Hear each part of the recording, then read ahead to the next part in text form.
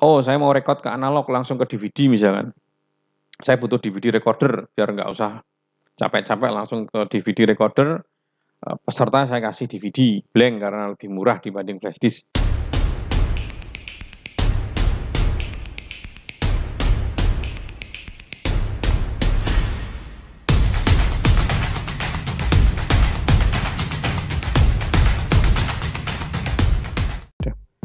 Assalamualaikum warahmatullahi wabarakatuh. Kembali lagi dengan saya. Kita belajar kali ini multicam dan streaming. Beberapa uh, teori mungkin sudah kita sampaikan di kelas industri, beberapa sekolah yang sudah pernah kita isi. Tapi ini untuk teman-teman yang tidak pernah ketemu dengan saya, bolehlah kita nyimak bersama-sama video ini, kita belajar sama-sama. Perkenalkan dulu nama saya Adi Prastiono, sering dipanggil Adi, sering dipanggil Pras, Sebagian ada yang manggil Tio, juga ada yang panggil Ono. Nama saya kayaknya sudah bisa dipakai di mana pun ya. Diambil part depan, part tengah sampai belakang pun bisa dipakai. E, riwayat pendidikan saya, saya kuliahnya teknik informatika, S1-nya di Semarang, Stikubang. Dan saya ambilnya itu sebenarnya kalau teknik informatika ya harusnya jurusannya di programming ya. Maksudnya program ahliannya itu programming, membuat program. Program uh, tentang program sistem ya, yang harusnya dipakai, tidak multimedia atau tentang broadcast kayak gini.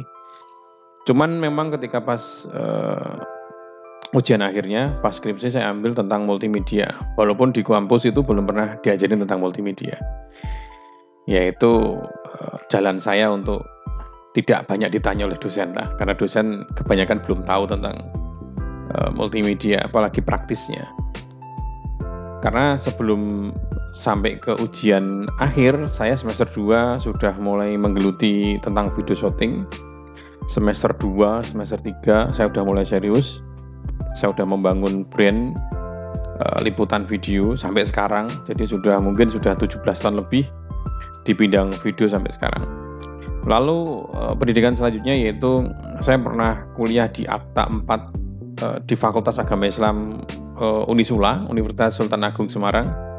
Saya ambil tarbiyah, harusnya dakwah ini ya saya.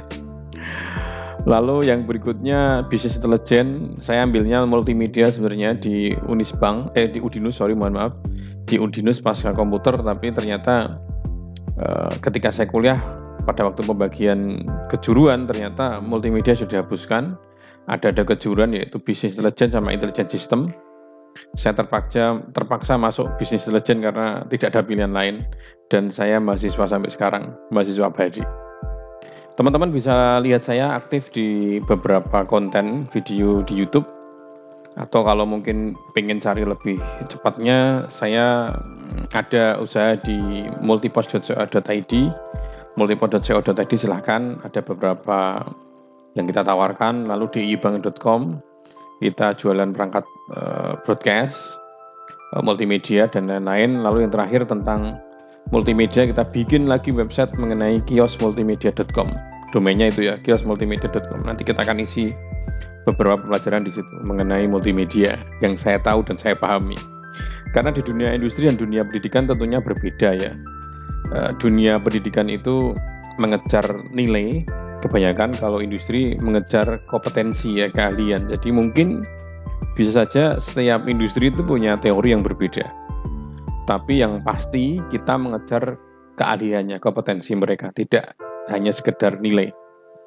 Teori di depan ini adalah pemahaman kepada kalian, kepada teman-teman semua supaya tidak uh, tidak uh, menyimpang ya nanti pengertian di dunia pendidikan dan dunia industri kemungkinan berbeda.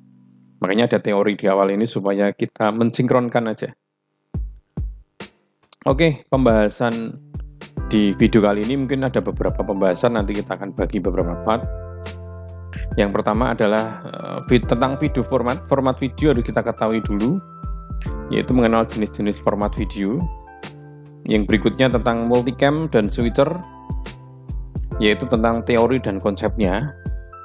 Yang ketiga yaitu peralatan yang dibutuhkan ya atau tool equipment multicam yang dibutuhkan. Sehingga terutama di dunia pendidikan tentunya harus tahu perkembangan uh, multimedia sekarang itu tentunya berbeda dengan satu tahun yang lalu atau dua tahun yang lalu. perkembangannya sangat cepat sekali. Kalau di sekolahan saya melihat pengadaan-pengadaan barang masih mencari eh, kamera-kamera video yang berformat SD ataupun kamera-kamera yang masih menggunakan sistem lama tapi sekarang di dunia industri sudah luar biasa cepat perkembangannya. Bahkan dua tahun ini di pandemi ini eh, kita sebagai pemain industri kan mau nggak mau harus mengikuti. Bahkan kita harus menyiapkan ya menyiapkan yang dibutuhkan sekarang. Nah, yang dibutuhkan sekarang adalah multicam sama streaming, uh, tambah lagi-lagi mengenai tentang virtual studio yang yang sekarang ini marak-maraknya karena konser, lalu uh, event-event itu nggak bisa secara langsung, akhirnya kita bikin studio virtual karena lebih hemat dan lebih megah aja gitu dalam acara. Pembahasan yang berikutnya yaitu tentang live streaming, kita nanti uh, live streaming di medsos uh, live, uh, live streaming bisa di YouTube, bisa di Facebook, bisa di Zoom atau di media lainnya. Bisa single, bisa bersamaan. Nah, ini yang dinamakan dengan uh, apa namanya uh, tentang multicam ya. Sistemnya seperti ini. Mungkin kalau kurang besar nanti teman-teman uh, bisa lihat gambarnya di mul eh, di apa namanya di multimedia di kios multimedia sorry di kios multimedia kita akan upload materinya di situ karena ini baru ya jadi saya bikin domain ini baru saya beli domain baru jadi nanti kita akan upload di sana tentang berbagi uh, pengetahuan mengenai multimedia dan broadcast. Jadi kita contohnya adalah menggunakan uh, mixer SE 3000 ini 12 channel ya. 12 channel HD, SD, uh, digital video switcher. Jadi yang dinamakan dengan HD itu, teman-teman kalau mungkin ada yang belum tahu, namanya HD itu uh, inputnya, interface-nya atau yang dibutuhkan kamera yang dibutuhkan adalah kamera yang support uh, eh, HD, yaitu koneksinya sekarang yang yang banyak di umum di pasaran adalah HDMI sama SDI. Jadi kalau kameranya tidak ada out HDMI sama SDA ya nggak bisa dipakai di mixer HD. Misal dibelikan konverter ya bisa, tapi kualitasnya sudah tidak bisa. Jadi itu yang harus dipahami dulu. Lalu kamera itu outnya itu BNC sama SDA beda. Beberapa kamera outnya eh, koneksinya, soketnya itu kayak SDA, tapi itu bukan SDA. Itu hanya soket BNC yang dilewati oleh uh, out video manual atau uh, atau manual ya atau apa analog bukan HD kadang ada yang pakai NX100 lalu ditancap ke SDA ya nggak bisa. Itu keluarnya kan manual. 2500 Sony itu juga manual jadi beda. Bukan uh, eh, SDA kalau SDA itu kamera-kamera yang yang lumayan mahal yang 25 juta ke atas biasanya menggunakan kamera yang outnya sudah SDA kamera-kamera yang masih standar yang sering dipakai biasanya HDMI out. Sehingga yang dibutuhkan adalah mixer-mixer yang bisa input HDMI, bisa mixer yang inputnya SDA. Kalau SDA nanti biasanya dikasih converter antara mixer HDMI eh, itu SDA biasanya seperti itu. Nah konsep awal yang paling yang penting dipahami kawan-kawan semua yang mungkin belum tahu tentang multi multicam sistem eh, inputnya outputnya seperti apa ini ada alurnya. Ini mixernya di sini saya pakai mouse ini ya SE3000 lalu yang atas ini adalah eh, monitornya. Monitor ini biasanya mixer-mixer yang sudah pro itu sudah ada eh, multi multi view-nya. Jadi multi view itu outnya hanya satu. Biasanya out uh, eh, HDMI atau SDA dimasukkan sebuah monitor. Monitor kalau bisa monitor yang minimal HD atau uh, full HD itu lebih bagus. Nah di situ nanti ada akan terbagi secara otomatis kayak gini. Ada preview sama program. Preview itu yang ditampilkan video-video yang akan ditampilkan. Kalau program atau PGM itu gambar atau video yang yang dipilih, yang ditampilkan. Yang ini akan ditampilkan, ini yang ditampilkan. Lalu yang kecil-kecil di sini, yang di bawah ini mungkin nggak kelihatan, ada 1, 2, 3, sampai 12. Biasanya mixer-mixer yang standar yang biasanya dipakai di sekolah itu cuman inputnya cuma 4 ya. 1 sampai 2 3 4. Ada yang sampai 6. Biasanya 4 uh, DMI atau yang 6 channel itu biasanya uh, 4 SDA sama 2 DMI biasanya seperti itu. Nah, uh, bentuknya kayak gini grafiknya. Ini kami ibaratnya kamera 1, 2, 3, 4, 5, 6, 7 dan seterusnya. Nah, ini kamera yang outnya SDA ya, kamera yang uh, outnya SDA, dia langsung bisa masuk di dalam mixer inputnya SDA. Input SDA ini kabelnya bisa panjang, bisa 100 meter nggak ada masalah. Kalau HDMI agak susah kan, karena HDMI itu di dalamnya kabelnya itu banyak. Uh, di dalam kabel itu kalau kita buka kabelnya dalam satu kabel gelondong itu banyak kabel di dalamnya sehingga memang agak rawan ya ketika terjadi uh, apa terjadi sentuhan gitu ya bahasanya crack gitu ya kalau kabel SDA di dalamnya cuma ada ground sama inner jadi kabelnya cuma satu single dan itu ya pasti kuat kabelnya semacam kayak kabel antena tapi impedensinya untuk video itu biasanya standarnya 75 ohm kalau 50 ohm biasanya untuk anten, anten radio amatir, yaitu yang pakai yang 75 ohm. Apa pun kabelnya sebenarnya nggak ada masalah karena sistem sudah HD, sudah digital kayak gini. Data yang masuk bentuknya digital bukan analog. Kalau analog itu kan nanti eh, apa namanya video eh, kabel yang ditancap itu misalkan low grade itu kualitas gambarnya akan menurun, akan agak burem atau gambarnya akan menurun. Tapi kalau HD sudah nggak mengenal itu karena Eh, koneksinya adalah HD di data, jadi dia mengenalnya cuma angka 1 sama 0. 1 itu artinya terkoneksi, 0 terputus. Tidak ada setengah gitu, nggak ada. Jadi sebenarnya kabel apa pun asalkan itu bisa convert data yang baik ya. Biasanya memang jenis-jenis kabel data. Boleh pakai CCTV yang HD itu nggak masalah karena itu juga data. Nah, SD itu langsung masuk menuju mixer Nah, masuknya nanti di tampilan nomor satu kayak gini. Kamera yang berikutnya misalkan dia masih pakai SDA juga langsung masuk.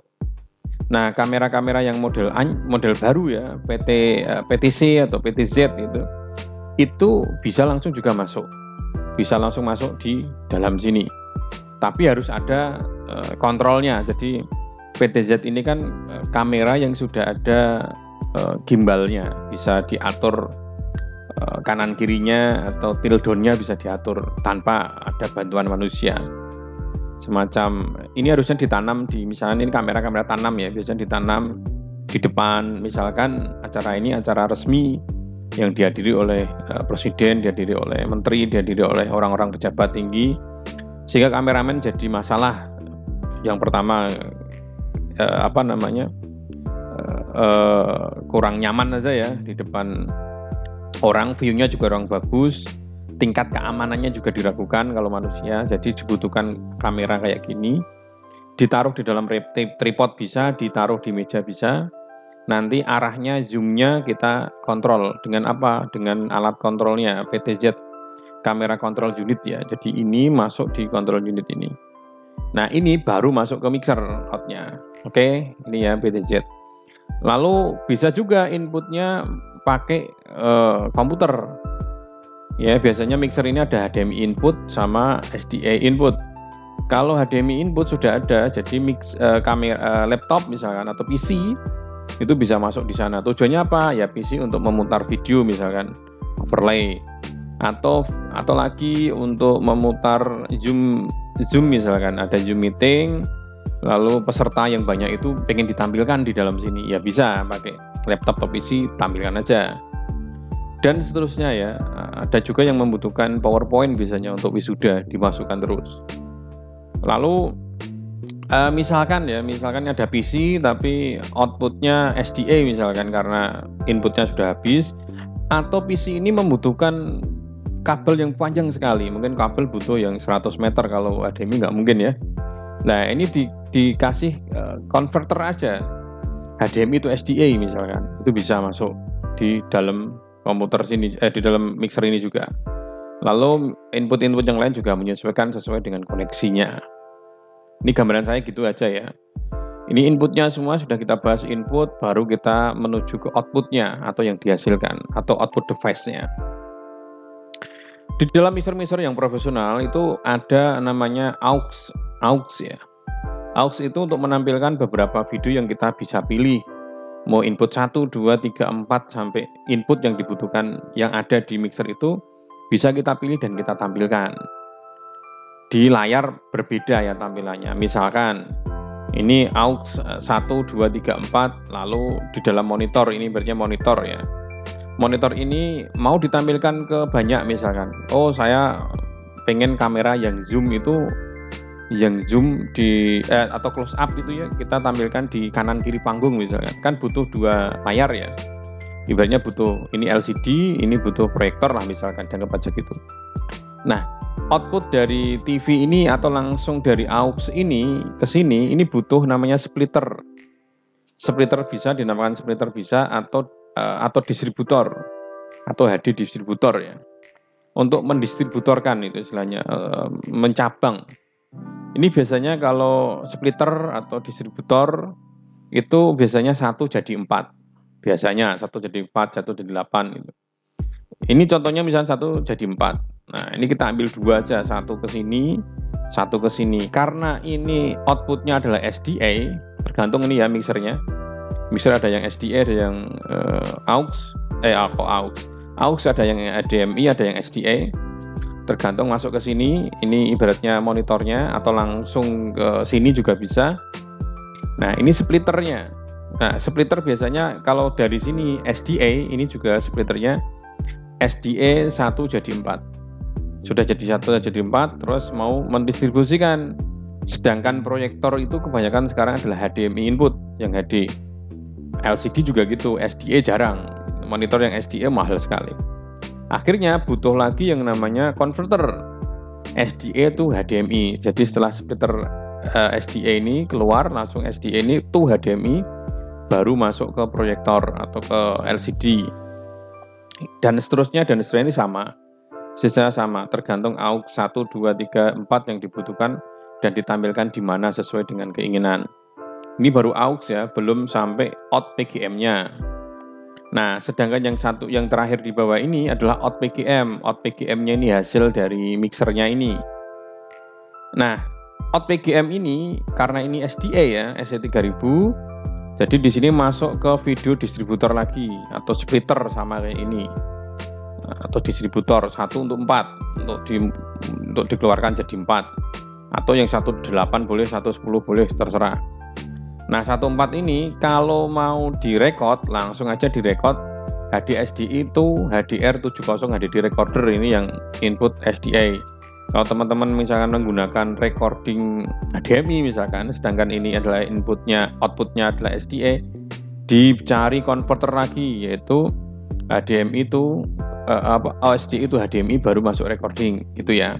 Disesuaikan aja. Contohnya misalnya tadi ini SDI keluar kita butuh recording. Recording ini juga ada out monitornya kalau mau ditampilkan. Kalau butuh, kalau enggak ya enggak, dibutuhkan monitor. Nah, distributor ini juga bisa lagi kalau misalkan ini mau ke analog. Oh, saya mau record ke analog langsung ke DVD misalkan. Saya butuh DVD recorder biar nggak usah capek-capek langsung ke DVD recorder. Eh, peserta saya kasih DVD blank karena lebih murah dibanding flash disk. Oke, dari uh, video distributor atau AV splitter ini ini masuk ke HDSDA. HDSDA itu CV atau analog ya ini atau RCA lah. Jadi CV C uh, sorry CV atau YUV biasanya ini untuk analog. HDMI sorry sorry SD itu analog ya. SD itu analog. HD itu analog. Nah, ini masuk ke dalam DVD recorder langsung disimpan di sini bisa. Nah, di sini juga bisa ditampilkan eh, LCD-nya outnya kalau mau dibutuhkan tampilkan biar mantep gitu ya. Bisa. Lalu uh, seberikutnya lagi, yo berikutnya lagi kalau mau misalkan uh, butuh splitter lagi misalkan kurang banyak di split lagi boleh, di split lagi boleh. Atau kalau misalkan ini sudah cukup, saya mau tampilkan di TV monitor atau LCD yang butuhnya adalah HDMI ya dari sini boleh lewat sini atau langsung ke sini. Jadi SDA uh, eh, distributor, SDA distributor, SDA distributor ini langsung menuju ke uh, eh, SDA itu HDMI untuk menampilkan di monitor-monitor atau proyektor hasil dari mixing atau hasil dari mixer yaitu program atau PGM tadi bisa masuk ke sana. PGM ini bisa kita campur semua ya, kita mix ya dari kamera 1, 2, 3, 4, 5, 6, 7 dan seterusnya. bisa dari kamera, bisa dari PTC, dari PTZ, dari PC, dari Zoom, dari apa pun itu yang kita butuh di-upload, upload semua. Dan bisa di mixing, dicari, dikombinasikan dari dari mixer ini dan hasilnya bisa ditampilkan. Itu yang mengenai uh, grafik ini. Pembahasannya agak panjang ini, butuh waktu 22 menit saya lihat ini jamnya. Berikutnya, ini baru masuk ke teori multicam. Multicam ini memudahkan proses produksi. Jadi harusnya diediting tanpa diedit. Bisa langsung ditampilkan. Jadi intinya adalah kamera atau input, switcher, lalu video out. Intinya sederhananya itu. Setiap mixer itu berbeda. Yang kita bahas tadi adalah mixer yang yang inputnya banyak dan memang dipakai. Jadi yang jelimet dulu ya. Nah ini jen, jenis uh, bitrate video ya. Uh, bitrate video nanti pengaruhnya kayak gini. Contohnya misalkan 1 Mbps, 5 Mbps, 10 Mbps saja udah berbeda kayak gini. Teman-teman kalau cari recording ya disesuaikan aja. Recording sekarang kan ada yang 5 Mbps, 10 Mbps, uh, sampai 20 biasanya, unlimited. Ini sistemnya kayak sama kayak kalau kita main internet. Biasanya kalau kita memutar internet dengan kecepatan paling rendah ya kayak gini. Nanti ketika kita pas pada waktu streaming video juga ada format juga kan, format 720p 1 Mbps ya kayak gini, 5 ya kayak gini, 10 gini yang paling tahu teman-teman harus tahu. Perbedaannya seperti ini loh ya. Sama-sama menggunakan resolusi 720 25 fps tapi dengan bitrate yang berbeda hasilnya seperti ini. Jadi sudah tahu renderingnya nanti harus bagaimana, ketika kita streaming harus bagaimana. Nah ini format rasio untuk video YouTube Nah, di dalam video YouTube itu ada 240p yang kita tahu ya 24p yang paling rendah adalah 144 tapi ya jangan pakai itu yang terlalu kecil nanti 240 360p 480 lalu 720 yang terakhir 1080p ini sebenarnya bukan terakhir ya tapi yang biasa umum digunakan. Karena yang sekarang sudah 4K juga banyak video yang sudah diupload 4K lalu eh, apa namanya eh, 3D kamera juga sudah banyak 360 juga banyak. Coba ini yang pada umumnya yang diakses di handphone itu ya, teman-teman udah tahu lah yang diakses di handphone kira-kira yang mana yang tengah-tengah ini 480 ini paling aman dilihat di kualitas handphone dengan uh, dengan biaya data yang lumayan sedang lah tidak terlalu dibanding 1080p kalau di handphone kita akses 480, 720, 1080 hampir tidak bisa dibedakan karena memang handphone ya kecil ya eh, kamera apa eh, LCD-nya ya. 480 ini sama dengan format MPEG 2 ya. MPEG 2 VOB itu 480. Hampir segitu. Jadi teman-teman harus tahu dan resolusinya 426, 240 dan seterusnya ini juga harus dipahami juga untuk format uh, rasio untuk video di YouTube karena nanti kan kita akan streamingnya juga kan di YouTube ya. Untuk fps video frame rate-nya contohnya kayak gini uh, frame-nya 720 itu sekian 1080p itu agak besar dan 4K akan lebih besar lagi. Biar lebih tahu karena nanti kan kalau kita dalam proses editing lalu dalam proses uh, apa namanya di dalam kompres bukan kompres apa di vmix misalkan ketika kita bikin frame kita besarkan zoom kita cropping misalkan kita harus paham juga inputnya berapa kameranya berapa sehingga ketika kita crop ya kita crop itu nggak akan pecah gambarnya. Jadi seperti itu. 720 segini misalkan DVD kecil lagi segini mungkin. Makanya DVD ah sorry CD itu kalau diputar di TV yang gede wah akan akan bukan pecah lagi tapi blur.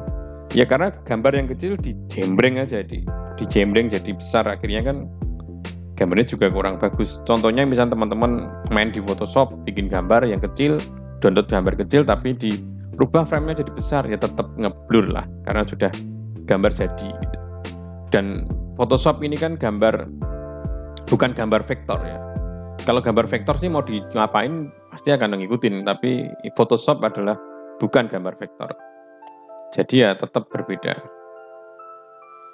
Frame rate atau frame uh, per second adalah jumlah frame yang terdapat dalam video dalam durasi satu detik ya. Beberapa frame rate yang umum digunakan adalah 25, eh, 24, 25, 30, 48, 50 dan 60. Ya, itu tergantung itunya. Nah, ini adalah video uh, mixer. Contohnya seperti ini, video mixer atau switcher yang dipakai ini yang kelas yang di bawahnya tadi. Kalau tadi inputnya ada 12-an, kalau ini inputnya cukup kecil. Ini inputnya yang sebelah kiri ini cuma input 6 6 input lalu dikombinasikan dengan OBS ini ada OBS OBS ini adalah program yang free yang gratis di download dan dipakai tanpa ada batasan ya. Jadi ini adalah empat input SDA kabelnya bisa panjang sampai sana sampai sana. HDMI-nya ada dua bisa dipakai untuk komputer tapi apa namanya eh, tidak ada aux yang banyak kayak tadi ada empat. Ini auxnya sedikit. Lalu yang berikutnya di sini adalah Vmix Vmix ini inputnya kalau di sini ada input SDA 4 input. Input yang lain banyak sekali karena Vmix eh, ini dia eh, bisa input dari video overlay dan text rolling text macam-macam di sini bisa kita masukkan semuanya sebanyak-banyaknya sekuat komputer kita. Audio juga gitu sama dan bisa yang saya tadi omongkan dari depan bisa untuk virtual studio ya. Ada virtual studio atau atau virtual set ya. Nanti kapan-kapan kita akan ulas. Ini bentuknya uh, monitornya ini lumayan gede. Ini 20 in ya 19,5 in. Monitornya eh, monitor keyboardnya sudah kita masukkan di dalam laci ini. Ini sudah lengkap tinggal bawa Lalu di sampingnya ini ada Vmix yang kita bikin yang model kecil. Ini bentuknya sangat kecil, ini pakai LCD laptop. Bentuknya kecil sekali, seukuran mini PC. Jadi yang kita masukkan di sini nanti eh, mainboardnya hanya mini ATX atau micro micro ATX ya. Kecil sekali. Eh, mainboardnya juga mainboard yang kecil. Ini inputnya biasanya kita kombinasikan dengan mixer ya atau bikin untuk gaming. Inputnya hanya satu dua tiga. Pokoknya inputnya HDMI biasanya udah cukup. Lalu yang berikutnya di sini adalah mixer. Mixer yang kita pakai yang di sini ya sama. Kita ada produk baru tapi kita belum masukkan di sini karena ini uh, video yang kita bikin materi ini lah materi sudah satu bulan yang lalu. Nah, sebelum kita masuk ke mixer video ini agak lama ini videonya, bahas kita akan lanjut ke part berikutnya. Terima kasih sudah nonton video ini. Nanti kita sambung di pelajaran berikutnya. Saya Dibras.